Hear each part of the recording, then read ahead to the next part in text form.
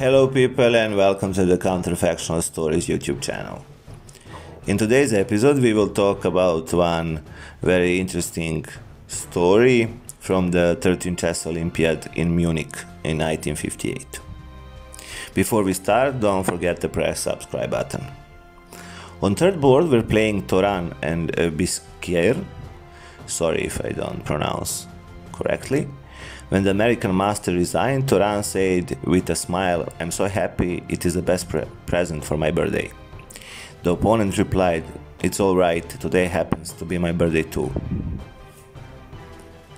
Many years ago, US champion of that day, Grandmaster Larry Evans, was playing a simultaneous game in the mental institution in New York. He made pretty good result, but some tall guy was playing absolutely brilliant and has demolished the Grandmaster. At the parting, Larry congratulated to the winner once again, and this one said, Mr. Evans, for one, it's not indispensable to be crazy so he could play good, but it really helps a lot. Grandmaster Svetozar Gligoric, in an interview, I also experienced an interesting case of uh, concentration.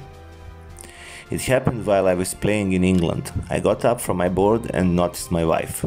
I realized that her face was familiar uh, and I said, Good afternoon. She ran away. A chess player went to buy a chess book from a shop. He picked it up, went to the counter, and asked, Excuse me, how much does the book cost? The lady at the counter replied, This one is $150. The chess player left the book carefully on the counter, said, J'adoube, and quickly went out of the shop.